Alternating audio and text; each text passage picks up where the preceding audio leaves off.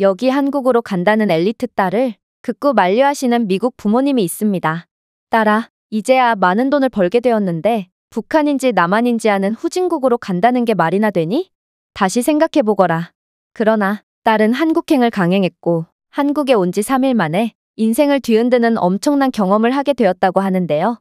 그렇다면 이 외국인이 한국에서 대체 어떤 경험을 한 것인지 자세한 내용 살펴보도록 하겠습니다. 미국 여성의 사연입니다. 안녕하세요. 저는 미국인 페넬로페라고 합니다. 강압적인 부모님 밑에서 자란 저는 어렸을 적에 늘 공부만 하며 살아야 했습니다. 부모님은 제가 친구를 만나는 것조차 탐탁지 않게 생각하셨고 항상 공부만 시키셨죠. 그렇게 억압받던 저는 고등학생 때 새로운 취미가 생기게 되었는데요. 그건 바로 한국의 일상적인 풍경 사진을 보고 그림을 그리는 거였습니다. 그때까지만 해도 한국은 지금처럼 엄청난 유명세를 가진 국가는 아니었지만 세계사를 공부하며 어쩌다 알게 된 한국은 많은 매력을 가진 나라였거든요. 험난한 산악지형을 가졌는데 아이러니하게도 고층 빌딩이 빼곡하고 심지어 삼면이 바다인데도 국토는 그다지 크지 않아서 짧은 반경 안에서 모든 자연 환경을 느낄 수 있는 곳이 바로 한국이었죠. 특히나 저는 한국의 빼곡한 아파트 풍경이 마음에 들었는데 뭔가 아파트 단지 주변으로 웅장한 산들이 서 있고 강까지 지나가는 모습이 너무나도 이국적이고 매력적이었거든요. 그래서 저는 인터넷으로 여러 한국의 모습을 보며 언젠가는 꼭 한번 가보고 싶다는 마음을 간직한 채로 그림을 그렸던 것입니다. 그렇게 한국의 매력을 느끼니 자연스레 그들의 언어에도 흥미가 갔는데요. 한글은 생긴 게 너무 귀여워서 배우는 재미가 쏠쏠했죠. 어쩌면 살면서 처음 가지게 된 취미였기에 제가 한국에 더 빠져들 수밖에 없었던 걸 수도 있겠네요. 하지만 부모님은 저를 가만두지 않으셨어요. 한국에 관심을 가지면서부터 제 성적은 점점 떨어지기 시작했고 부모님은 그런 저를 억압하기 시작했거든요. 저를 늘 감시하고 제가 한국 풍경 그림을 그린다거나 한국어 공부를 하면 그 자리에서 한국과 관련한 것들을 찢어버리셨죠.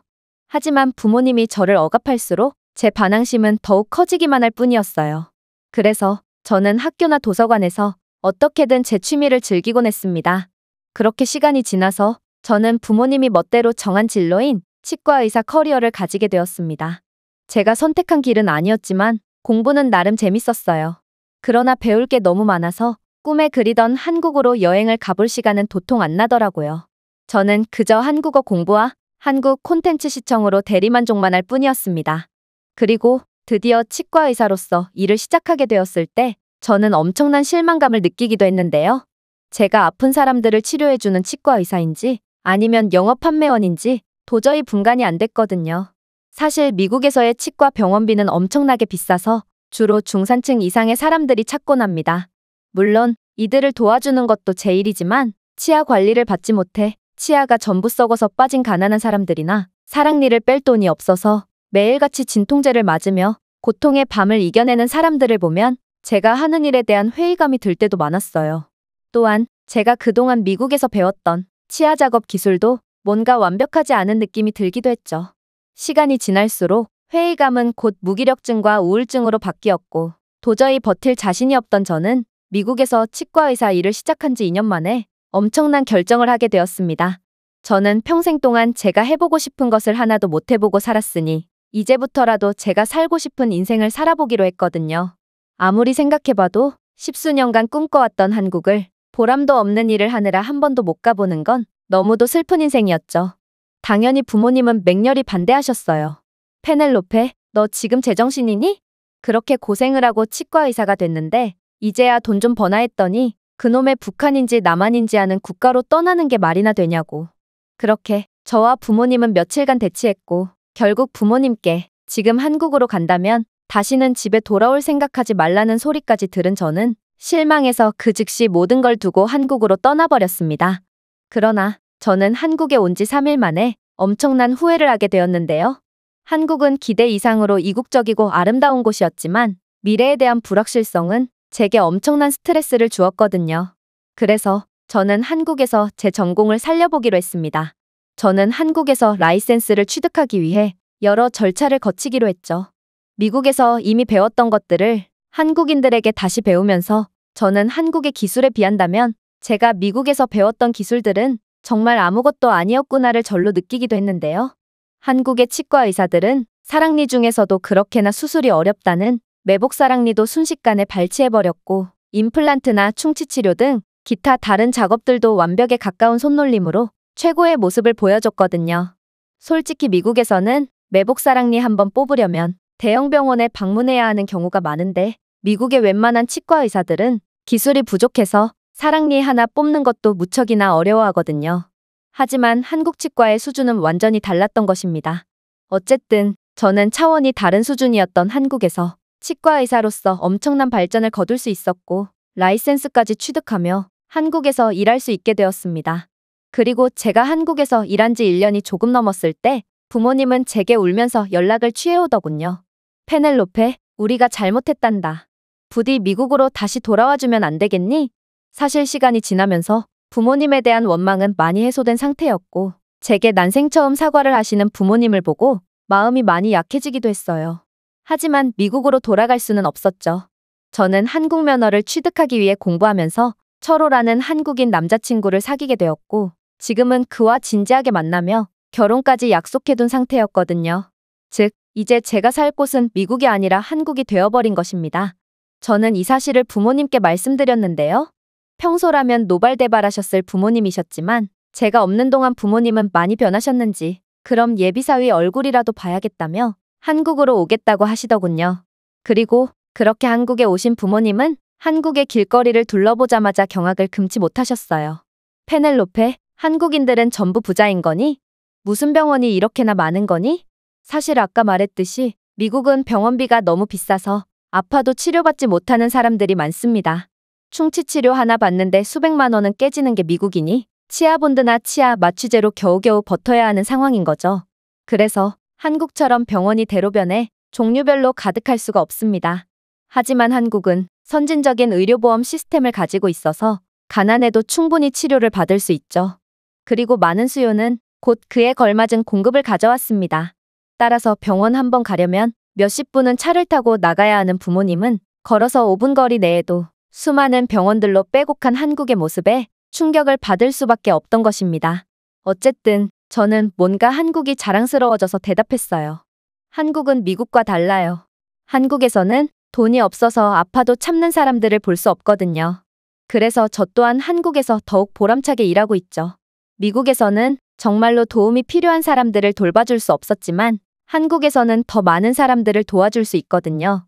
그리고 저는 제가 어렸을 적 한국을 좋아했던 이유인 한국의 기가 막힌 풍경을 보여드렸는데요. 산과 강, 궁궐, 그리고 빼곡한 고층 건물로 가득한 한국의 모습은 아이러니하면서도 엄청난 조화를 보여주고 있었고 부모님은 이 모습을 보시고 눈물까지 글썽이셨습니다. 페넬로페, 내가 한국을 좋아할 만한 이유가 있었구나. 우리가 좀 더 빨리 이 모습을 봤었다면 너를 더 빨리 이해할 수 있었을 텐데. 정말 아름다운 곳이야. 부모님은 한국의 길거리 모습에 감탄을 하셨는지 좀처럼 다른 곳으로 이동할 생각을 안 하셨고, 그렇게 부모님은 밤까지 한국의 길거리를 거니시고 근처 공원에서 한국인들처럼 맥주까지 한 캔 드신 후에야 숙소로 향하셨습니다. 부모님은 미국에서는 위험해서 절대로 경험할 수 없는 밤문화를 즐길 수 있게 되어 엄청나게 만족하신 모양이었어요. 다음 날 부모님은 예비사위도 한번 봐야겠다며 철호 씨의 치과에도 들르셨는데요. 철호 씨는 어린이 전문 치과에서 일하고 있는데 부모님은 치과에 놀이터가 있는 것을 보고 경악을 하시더군요. 한국인들은 배려심도 깊고 아이디어도 굉장히 뛰어나구나. 어떻게 이런 생각을 할 수가 있는 거니? 사실 미국 치과에서는 아이들만 왔다 하면 진료가 엄청나게 지연됩니다. 아이들이 가장 무서워하는 게 치과고 그들은 진료를 보려고만 하면 엄청나게 울어대곤 하죠. 하지만 한국 아이들은 이런 편안한 분위기 탓에 전혀 겁먹지 않아 하더군요. 심지어 아이들이 들어간 진료실에서도 울음소리 하나 들려오지 않았습니다. 엄마는 철호 씨가 일하는 모습을 보고 자상하고 따뜻한 사람 같다며 몹시 마음에 들어 하셨는데요. 철호 씨는 아이들을 좋아해서 잘 달래주고 용감하게 치과 시술을 받은 아이들에게 요구르트도 하나씩 나눠주곤 했거든요. 아이들은 치과 의사를 무서워하기 마련인데 철호 씨가 진료실에서 얼마나 잘해줬으면 아이들이 치과를 겁내지도 않고 치과 의사인 철호 씨에게 엉겨붙어서 호감을 표할 수가 있겠어요?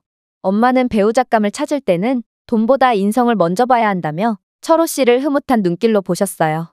그렇게 부모님은 한국에서 환상적인 시간을 보내시고 미국으로 돌아가셨는데요. 한 달 뒤에 다른 가족들과 함께 한국에 다시 방문하시기로 했죠. 제 사촌 중 몇 명은 매복사랑니가 났음에도 치료비가 너무 비싸서 진통제로 버티고 있고 아빠 또한 치아 상태가 매우 안 좋아서 임플란트가 필요하거든요. 한국에서는 미국에서보다 훨씬 높은 퀄리티로 수배나 저렴하게 수술을 받을 수 있지만 제가 무료로 치료해주기로 했습니다. 제 미국에서의 실력이었다면 더 큰 병원으로 가보라고 했을 테지만 한국에서 완전한 전문가로 거듭난 지금의 제겐 이 정도 수술은 눈 감고도 할 수 있을 정도죠. 손기술과 실력이 너무나도 뛰어난 다른 한국인들에 비한다면 그저 특별할 것도 없지만 말이에요. 만약 제가 이 실력을 가지고 미국으로 다시 돌아간다면 더 좋은 대우를 받을 수 있겠지만 저는 한국을 너무나도 사랑하고 심지어 이제는 영어보다 한국어를 더 잘하는 지경에 이르렀기 때문에 절대로 한국을 떠나지 않을 생각입니다. 이 외국인의 글은 여기까지입니다. 한국에서 새로운 인생을 살게 된 미국 여성의 사연이었습니다. 제가 준비해온 내용은 여기까지입니다. 끝까지 시청해주셔서 진심으로 감사드리며 여러분들의 구독과 좋아요, 알림 설정은 영상 제작에 큰 힘이 됩니다. 이상 세모튜브였습니다.